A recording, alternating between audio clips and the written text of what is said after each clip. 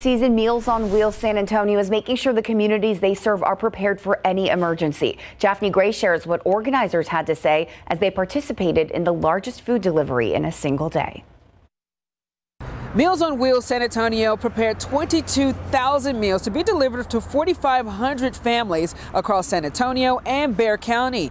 They're calling it the Winter Storm Kit Delivery. 400 cars lined up with several volunteers geared up to deliver these meals, which included a five meal box of high nutrition, long shelf life type of foods.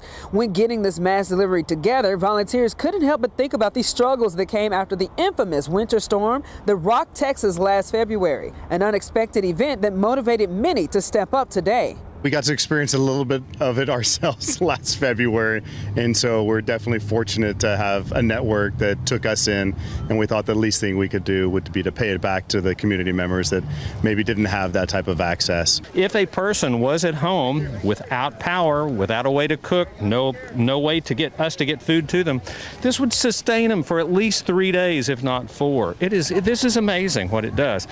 Hopefully they won't have to have it, but it's very reassuring to have it on the shelf to know know that the Meals on Wheels volunteer couldn't get there because of icy roads, this is backup for them. Also included in the delivery packages were blankets and warmers. CEO Vinsen Faris says this delivery is good for up to six weeks and should be saved for an emergency. Now, if you would like to see how you can receive services from Meals on Wheels or how you can volunteer, you can visit the story on our website at ksat.com. Reporting from Meals on Wheels San Antonio, Japhanie Gray, KSAT 12 News.